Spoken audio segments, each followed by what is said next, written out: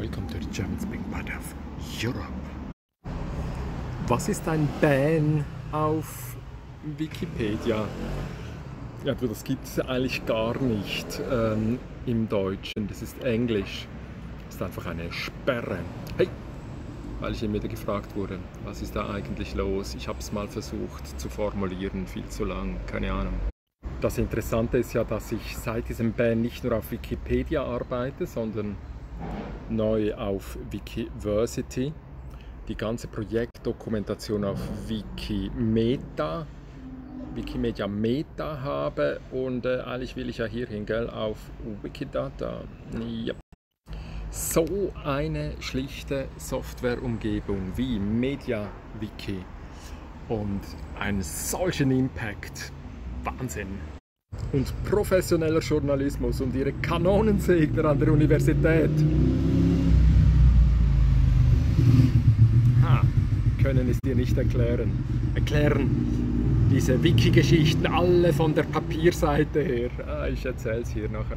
Also vielleicht kann man mit diesem Text mal noch was machen. Ich bin am Aufräumen und Putzen und Pflegen und Halli, hallo, hier bin ich jetzt noch dran. Hier habe ich schon einiges umstellen können, das habe ich jetzt schlanker gemacht, dass ich da weniger hin muss. Diese ersten drei Sätze helfen vielleicht schon, das Projekt ein bisschen besser zu verstehen. Und jetzt geht es also hier weiter mit Putzen, Aufräumen und ähm, neu formulieren. Wie du mit Klicken hierher kommst, also schau, wenn du zum Beispiel jetzt auf wikidienstag.ch gehst, dann kommst du zu MetaWiki. Und dann könntest du eben zum Beispiel das mal machen. Gehst du auf die Versionsgeschichte, dann listet sich das alles auf und dann siehst du, wer hier am Schreiben ist. Das bin eigentlich nur ich. Das ist mein Account.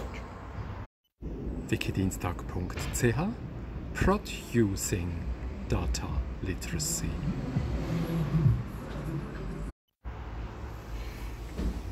...2010 die Praxis, 2009 Rebel TV is one of those massive media conglomerates, sort of like Murdoch's company, just a lot smaller. Daddy D FM4 2007 Wien.